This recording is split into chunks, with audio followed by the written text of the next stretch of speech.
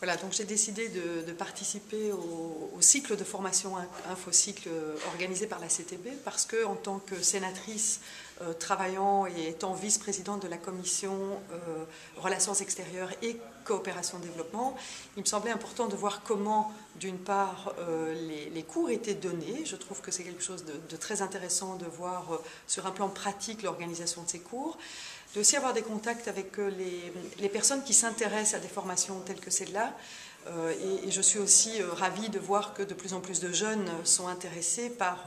des actions de coopération en développement. Et aussi pour ma formation personnelle, je trouve qu'il est important d'avoir un maximum d'informations et de formations pour pouvoir aborder le thème compliqué, complexe de la coopération en développement. Le premier cours euh, que j'ai suivi était le cours de présentation de la coopération technique euh, belge, la manière dont la coopération et la politique de la coopération et développement étaient menées en Belgique, son cadre général, euh, mais aussi le cadre international dans lequel la Belgique agit en matière de coopération et développement.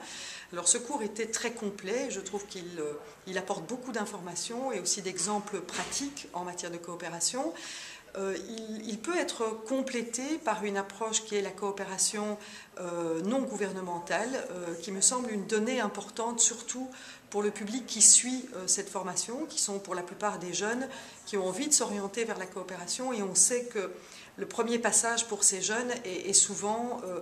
aller vers une ONG, travailler pour une ONG, s'engager dans une ONG. Et donc avoir cette information leur permettrait certainement de mieux comprendre sur un plan pratique comment travailler en coopération au départ de la Belgique.